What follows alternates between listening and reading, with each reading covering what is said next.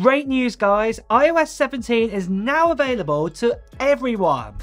So if you have an iPhone 10s like what I've got right here, or a 10s Max or the XS some people call it, or the 10R or XR, all the way up to an iPhone 14 model, so like here the iPhone 14 Pro Max, you can actually download iOS 17 right now. And of course, if you're lucky to have your hands on a new iPhone 15, you will also get iOS 17 straight out of the box. Now, today with the new iOS 17 update, there's about 10 new upgrades, and some of them you do actually need to change some of your settings on your iPhone. So I'm going to go over these and also talk about the great new features that are available what you can use today. So the first one is the standby clock, like what I've done here on my iPhone 14 Pro Max. And if you want to enable this, you need to go into your settings on your iPhone to turn this on. And I will say right now, this is only compatible on iPhone 14 Pros, the iPhone 14 Pro Max, and also it will be available on the iPhone 15 Pro and the iPhone 15 Pro Max. So let me show you.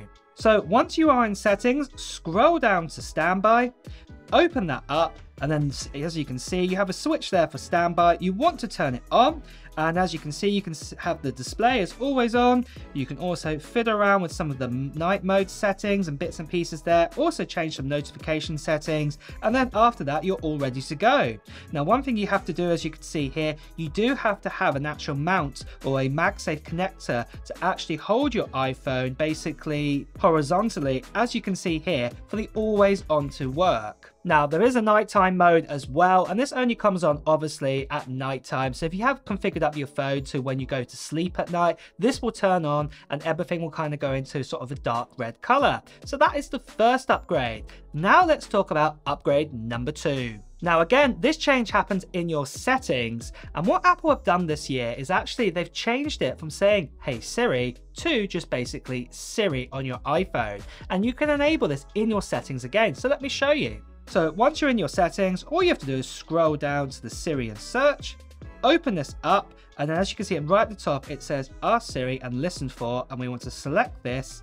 And as you can see, you have the choice of Siri or Hey Siri, or you can also just select Hey Siri. And as you can see there, I've enabled it too. Then for upgrade number three, this is all to do with contact posters. Now Apple showed off these brand new Apple contact posters you can see here, and they're really, really cool to basically share with other people. And also when you call up somebody, these contact posters appear. And let me show you how to configure this. Now this time what we need to do is we need to go into the contacts app. Once you're inside that, click on your card. And then what we can do is at the very middle here, we can click on the contact photo and poster, and then we can actually configure it. So as you can see here, it tells me to continue. So I'm going to do this. I can put my name. I can also select a camera picture of me right now, photos, um, emoji or a monogram. So I'm going to click a emoji here. So what I'm actually going to do is I'm going to select my face, as you can see here. And then let's have me looking like that one there. So what I'm to do is I'm to click next. And there we have it. I can also change my color if I wanted to do so. Good. Let's try it with the blue background. There we go. That looks a bit better. So I'm just going to select that. And then all we have to do is click done. Now, this leads nicely to upgrade number four, and this is all about sharing this contact card and sharing contact with each other without having to type it all in all the time. Apple have enabled a feature that works very similar to AirDrop. So basically, if you bring two phones close to each other, what you can do is you can actually share your contacts or receive contact information, and it's really, really cool, and everything will be saved into your contacts card. Then for upgrade number five, we've actually got offline maps at last on Apple Maps. And there's a way how you can enable this and also select certain offline maps. And let me show you how to do that right now. So once you're in your Apple Maps, all you have to do is just select your sort of picture, your avatar down in the bottom corner. And then as you can see here, you've got offline maps. So I'm just going to select that. But also at the same time as well, you can actually choose maps. So I'm actually going to choose here London as well. And as you can see here, I can click download. So if I select that, it starts downloading all the maps for it. Now, before we move on to upgrade number six, I want to tell you guys about this channels giveaway, what's literally happening in a couple of weeks time. It's happening at the end of September time and it's an international giveaway. And let me go over the prizes that are going to be given away. So first of all, we have some AirPods Pro. So one lucky person is going to be able to get their hands on that.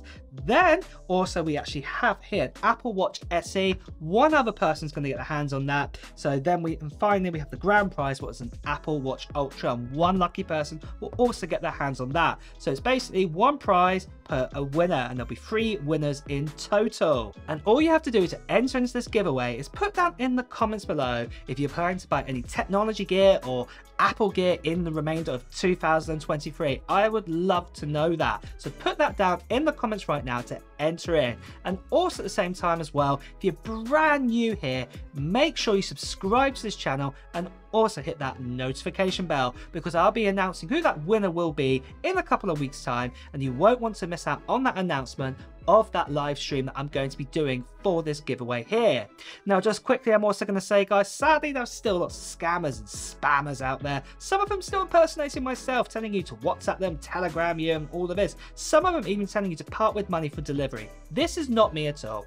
I'll be paying for delivery and I'll also be paying for the packaging taxes, you know, all of that kind of sort of thing. Please do report them or do ignore them, but reporting them would be better as you can see right here. And with that guys, let's now move on to upgrade number six.